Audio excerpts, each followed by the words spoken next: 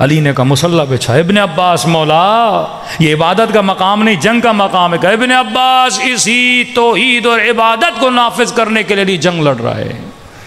Karbala का मैदान है। सईद ने सत्रह तीर खाए, हुसैन ने नमाज़ को कायम किया। कभी सोचा कि जिस भी मासूम के रोज़े पर जाते हो, ये जुमला क्यों कहते हो? अशद अन्न का कद अकम तसलात व आतई तज़क़ात व अमर तबिल मारूफ व नही अनिल मुनकर पाँच मिनट के लिए सोचा, तू है कौन? तेरी हैसियत क्या है कि तू हुसैन के लिए गवाही दे? मैं गवाही देता हूँ कि आपने नमाज़ कायम की। मैं गवाही देता हूँ कि आपने ज़क़़त दी। मैं गवाही देता हूँ कि आपने अमर बिल मारूफ और नहीं भाई, मैं हूँ कौन? मैं हूँ कौन जो हुसैन के लिए गवाही दूँ?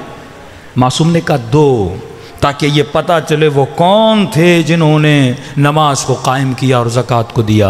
जब बाज़ार में ये काफ़िला जा रहा था ना, शाम की बाज़ार में सत्तर हज़ार मस्जिदों में बताया गया कि अली नमाज़ नहीं पढ़ते, अली ज़क़़त नहीं देते, अली दीन से खारे जाएँ जब पहले शाम को पता चला कि अली की शाह, शहादत का मस्जिद में होना हमत इलाही है। शाम वालों ने कहा, अली और मस्जिद, वो भी सुबह की नमाज़। हमें तो बताया गया, अली नमाज़ नहीं पढ़ते, अली का मस्जिद से लेना देना क्या है? जब पत्थर मारने लगे और कहने लगे, ये बागी की बहन है। उस वक्त सैदा जैनब ने कहा, पत्थर मारना है, मार, पर मेरे हुसैन को बागी न कहो। मेरा हुसैन नमाजी है।